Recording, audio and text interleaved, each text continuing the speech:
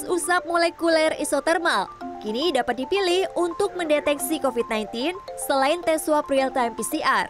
Tes usap isotermal memiliki kemampuan yang sama dengan tes swab PCR yang dapat mendeteksi hingga DNA COVID-19. Adapun tes swab antigen hanya dapat mendeteksi protein pada kulit COVID-19. Tes usap isotermal dinilai lebih unggul dibanding tes PCR karena hasilnya dapat diketahui hanya dalam waktu 15 menit. Hal inilah yang membuat tes usap tersebut lebih diminati dibanding tes usap PCR dengan hasil yang dapat diketahui dalam waktu 1 sampai 3 hari. Kalau isotermal itu kita uh, dari katanya sendiri ya iso uh, artinya sama, thermal itu suhu. Jadi proses amplifikasinya menggunakan cartridge dengan suhu yang sama dalam uh, mesin uh, isothermal tersebut. Uh, terus hasilnya adalah kalau uh, RT-PCR sendiri itu uh, sifatnya semi uh, semi kuantitatif ya. Kalau uh, isothermal itu kualitatif. Jadi kita hanya mengetahui positif atau negatifnya saja.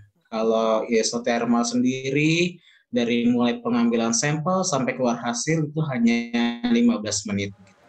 Meski demikian, tes usap isotermal memiliki kelemahan.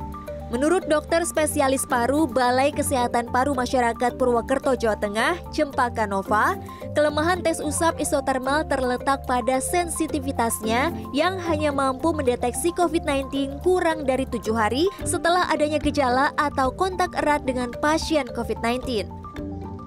Secara garis besar, perbedaan tes usap real-time PCR dengan isotermal adalah Pertama, tes PCR menggunakan metode polymerase chain reaction, sedangkan tes usap isotermal memakai metode nicking enzyme amplification reaction. Pemeriksaan tes PCR harus dilakukan di laboratorium, sedangkan tes isotermal dapat dikerjakan di luar laboratorium. Masa sensitivitas tes PCR lebih dari sebulan, sedangkan tes isotermal kurang dari tujuh hari. Cempaka menyatakan secara medis tes PCR lebih direkomendasikan untuk perawatan pasien COVID-19. Ia menyebut jika tes usap isotermal dilakukan pasien yang terpapar COVID-19 lebih dari seminggu, hasilnya negatif palsu.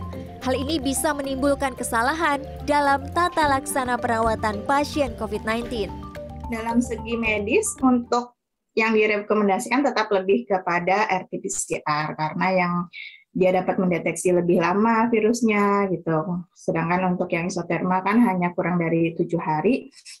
Itu setelah lebih dari tujuh hari virus itu sudah tidak terdeteksi. Jadi untuk tata laksana pun akan menjadi salah persepsi atau mispersepsi sehingga tidak seperti tata laksana COVID seharusnya gitu. Jadi uh, untuk RT-PCR bahkan lebih dari tujuh hari masih bisa mendeteksi virus yang terdapat dalam tubuh sehingga obat-obatan yang masuk pun langsung obat-obatan COVID atau tata laksana COVID yang seharusnya.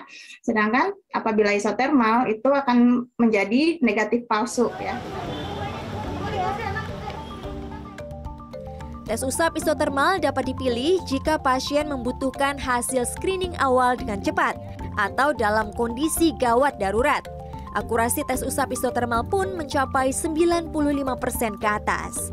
Tim Liputan CNN Indonesia.